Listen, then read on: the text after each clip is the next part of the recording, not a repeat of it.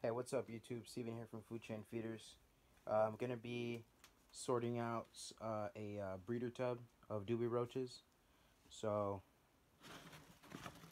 there's a couple of uh, babies in here that I need to uh, sort out and uh, separate some of the adults because I feel like this is a bit too crowded and put them in a, in a whole different tub.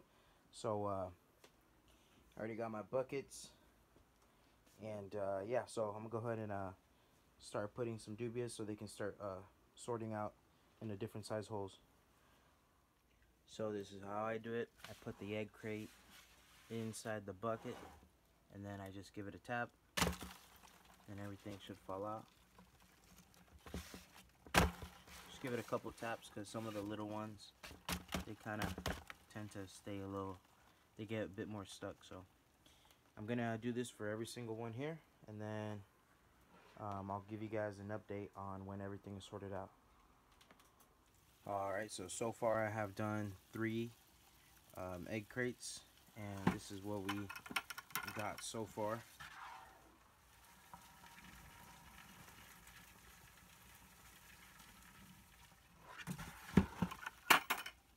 So still have all that to go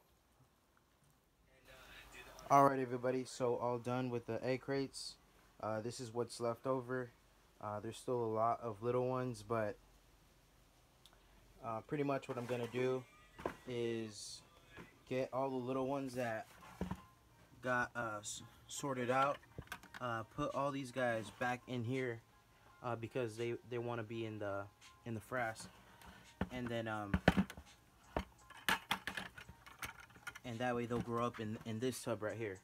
So this is uh, a little, the ones that didn't make it but they're still small size.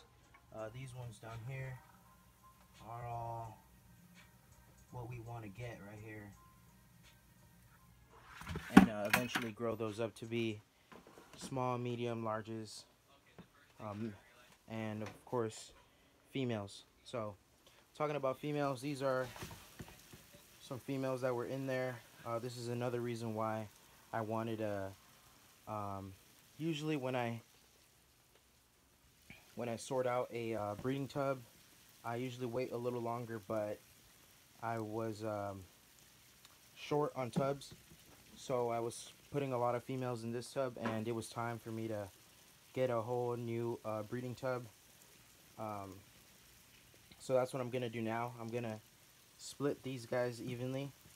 Uh, I have no idea how many females are inside of here right now, but there is a lot. There's a couple males in here as well, but um, yeah, so that's another another reason why I wanted to do this. The main reason actually is to uh, not not have them so crowded. I already popped the ventilation, and uh, yeah. So now I, what I need to do is count one of these out, count these the females out, uh, one by one. I'm going to do it by hand. So that's going to take me a while. After that, put the amount of males I want in there. Uh, so I'm going to put a couple of males in with the females, start breeding. So I'm going to have, um, I'm going to create two breeding tubs out of all these females right here. Two separate breeding tubs. Just for, uh, if you guys were wondering what we feed uh, our dubia roaches is this roach dust roach chow, dubia roach food. You can also feed this to crickets. Uh, we do have this for sale. We have seen incredible production uh, when, since we've been feeding this uh, formula here. So let me know if you guys need some. I guarantee you guys will see the difference.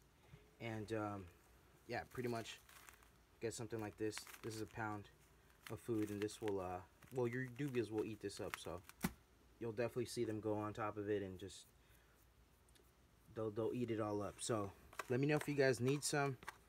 Um, you can uh, contact me through Instagram or email me at foodchainfeeders at gmail.com